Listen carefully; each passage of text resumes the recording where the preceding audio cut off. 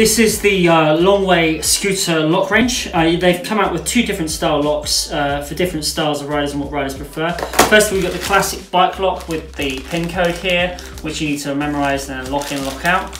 Uh, and then here you've got a slightly different version where it's a slightly thinner version, but it just sort of attaches the scooter. A lot of riders these days are finding their scooters being nicked, so this is just a great deterrent to stop that opportunistic thief from uh, stealing your scooter. So if you're investing a lot in your scooter, this is a great little accessory to, to add on to your scooter so you don't get it stolen.